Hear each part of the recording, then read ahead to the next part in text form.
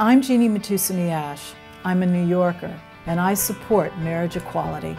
My late husband, Arthur Ashe, and I fought discrimination throughout our lives. I know that he would support marriage equality. We're so close to equal marriage rights in New York, but we need your help. Please support candidates who support all New Yorkers.